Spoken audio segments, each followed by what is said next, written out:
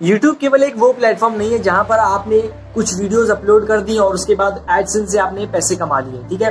YouTube एक business tool की तरह इस्तेमाल किए जाने वाला प्लेटफॉर्म अब बन चुका है। और अगर आप YouTube को एज अ बिज़नेस नहीं यूज़ कर रहे हो देन आप काफ़ी कुछ मिस कर रहे हो। इस वीडियो में हम उसी बात करने वाले हैं कि कैसे आप YouTube को एज अ बिज़नेस शुरू कर सकते हो या फिर अपने स्टैब्लिश बिज़नेस को YouTube के थ्रू ग्रो कर सकते हो। उसके पहले इस चैनल को सब्सक्राइब करो ताकि आपको वो वीडियोस मिल सके जो आपको ग्रो करने में मदद करेंगी। आप सब जानते हो कि YouTube एक बहुत बड़ा ट्रैफ़िक सोर्स है और अगर इसका इस्तेमाल हम बिज़नेस के लिए नहीं करते हैं अपनी ग्रोथ के लिए नहीं करते हैं देन आप काफ़ी कुछ मिस कर देंगे। इस वीडियो में हम बात करेंगे चार बिज़नेस मॉडल की, यानी कि जो जिस तरीके से आप अपना बिज़नेस शुरू कर सकते हो या आपका बिज़नेस इन्हीं कैटेगरीज में आएगा, ठीक है? तो देखो, सबसे पहली चीज़ होती है सर्विस बेस्ड बिज़नेस मॉडल ठीक है? अब सर्विस बेस्ड में क्या होता है कि आप अपनी सर्विस को लोगों को बेचते हो, यानी कि आपके पास कोई स्किल होती है, उस स्किल का आप पैसे चार्ज करते हो। एक एग्ज़ाम्पल के तौर पे इसको समझते हैं। मान लेते हैं कि आपको फेसबुक एड्स आता है, ठीक है? आप फेसबुक एड्स में काफ़ी अच्छे हो। आपकी स्किल है फेसबुक एड अब आपने क्या किया? आपने अपने यूट्यूब के थ्रू आपने कुछ वीडियोस डालना शुरू किया जहाँ पर आपने लोगों को सिखाना शुरू किया कि भाई ये देखो, ये मेरे एड्स की टेक्निक है या फिर इस तरह से मैं एड्स चलाता हूँ। आपने, आप वहाँ पर टेस्टिमोनियल्स भी डाल सकते हो अगर आप पहले किसी के लिए काम कर चुके हो, ठीक है? तो आपने क्या किया? अपना यूट्यूब पे एक बेस बनाना शुरू किया। अब आप क्या कर सकते हो? एज अ स्किल यहाँ पर आप सर्विस दे रहे हो। सर्विस का मतलब होता है कि आप किसी और को अपनी स्किल से उनके लिए काम करके दोगे? यानी कि आपने, आपको किसी, कोई कंपनी आपको अप्रोच कर सकती है या फिर आप किसी ब्रांड को अप्रोच कर सकते हो, ठीक है? कि आप उनके लिए फेसबुक ऐड चलाओगे और फेसबुक ऐड चलाने का आप पैसा लोगे, ठीक है? अब ये फेसबुक ऐड केवल एक एग्ज़ाम्पल है, आपकी स्किल कुछ भी हो सकती है। वो आप पर डिपेंड करेगा कि आपकी स्किल क्या है।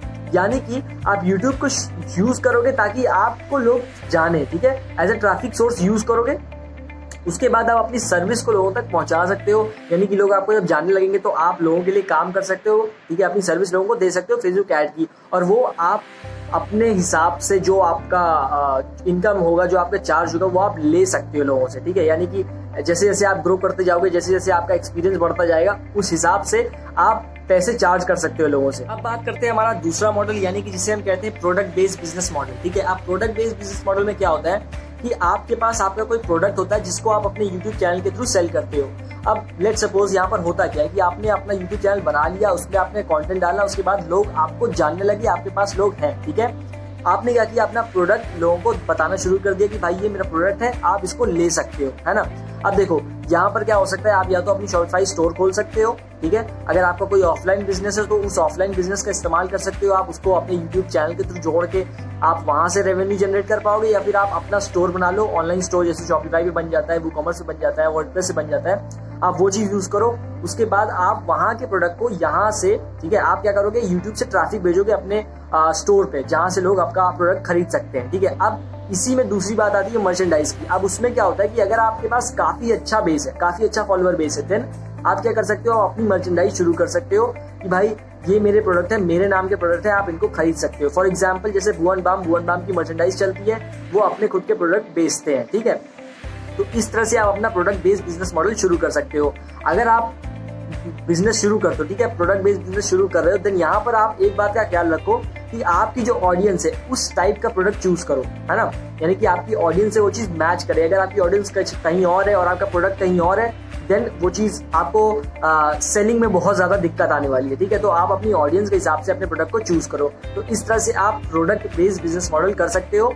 अगर आप प्रोडक्ट करना चाहते हो, नहीं तो सर्विस बेस्ड बिज़नेस मॉडल और आप चलते हैं हमारे बाकी दो बिज़नेस मॉडल के ऊपर। आते हैं हमारे तीसरे बिज़नेस के ऊपर, ठीक है? वो है कि आप डिजिटल प्रोडक्ट को सेल कर सकते हो। डिजिटल प्रोडक्ट क्या होते हैं आप जानते होंगे, ठीक है?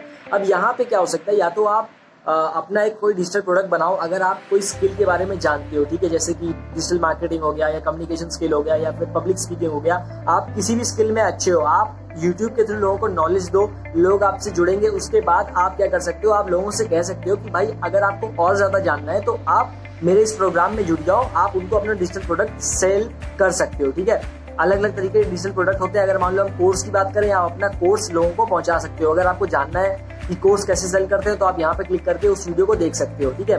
आपने क्या करना है, आपकी कोई निश होगी, आपने निश पकड़ ली निश पकड़ के आपने यूट्यूब पे वीडियोस डालना शुरू कर दिया। अब वीडियोस डालने के बाद आप क्या करोगे? आप लोगों से कहोगे कि यहाँ पे आपने जो बताया है, उसके बाद अगर आपको और चीज़ें जाननी है एडवांस चीज़ें जाननी है तो आप मेरे इस कोर्स को ले सकते हो, यानी कि जो आपका डिजिटल प्रोडक्ट होगा, उसको ले सकते हो। तो इस तरह से आप डिजिटल प्रोडक्ट सेल करके भी इनकम जनरेट कर पाओगे, क्योंकि आपके यूट्यूब पे ट्रैफ़िक तो आता ही रहेगा, ठीक है? अगर आपने अच्छा कंटेंट डाल रखा है, आपका कंटेंट बहुत ही बेहतरीन है देन आपको लोग देखने आएँगे और उसके हिसाब से आपके पास ट्रैफ़िक रहेगा। तो उस ट्रैफ़िक में से एक परसेंट का भी अगर हम कन्वर्जन रेट रखें तो आप काफ़ी अच्छा इनकम जनरेट कर पाओगे। तो आप डिजिटल प्रोडक्ट भी यूट्यूब के थ्रू सेल कर सकते हो। करते हैं हमारे चौथे और आखिरी तरीके के बारे में। इसके बारे में आप लोग जानते हो यानी कि एडवर्टाइजिंग या फिर एफिलियट मार्केटिंग ठीक है? अब एफिलियट मार्केटिंग में क्या होता है कि अगर आपके पास खुद के प्रोडक्ट नहीं है, आप नहीं चाहते हो कि आपका खुद का कोई प्रोडक्ट हो डिजिटल फ़िज़िकल या कैसा भी, ठीक है?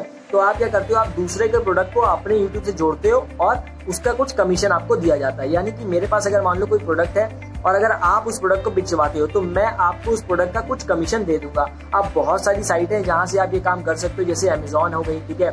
क्लिक बैंक हो गई कमीशन हो गया। अलग अलग जगहों से आप अपना एफिलिएट प्रोडक्ट उठा सकते हो। अब यहाँ पर भी सेम कंडीशन है कि आपकी ऑडियंस किस तरह की है, उस हिसाब से आपको प्रोडक्ट चुनना होगा, ठीक है? अगर आप जैसे फॉर एग्ज़ाम्पल मेरे चैनल की बात करें तो यहाँ पर मैं कुछ प्रोडक्ट जैसे कि मैं दे सकता हूँ जो डिजिटल प्रोडक्ट हो सकते हैं, यानी कि जैसे माइक हो गया या फिर रिंग लाइट हो गई या फिर अलग अलग चीज़ें मतलब कि मेरे नीच से रिलेटेड या फिर डोमेन हो गए तो वो सब मैं यहाँ पर एफिलिएट के लिए यूज़ कर सकता हूँ। अब यहाँ पर क्या होता है कि अगर आप अमेजोन से यूज़ करते हो तो वहाँ पर जो एफिलिएट कमीशन रेट होता है, वो कम होता है और बाकी अगर आप डिजिटल प्रोडक्ट सेल करते हो, ठीक है? डिजिटल प्रोडक्ट में क्या होता है कि रिकरिंग भी होता है और एक सिंगल टाइम पेमेंट भी होता है।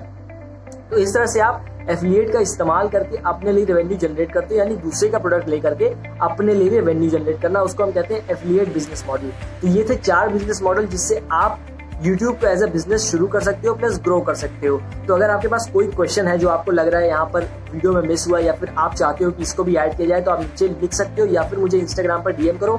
मैं वहाँ पर आपको मैसेज करके सब कुछ बता दूँगा कि क्या क्या चीज़ें यही तो हम अगली वीडियो में डिस्कशन कर लेंगे। अगर आपका कोई क्वेश्चन है तो नीचे ज़रूर लिखो और उसके पहले इस चैनल को सब्सक्राइब कर दो। And thank you so much for watching this video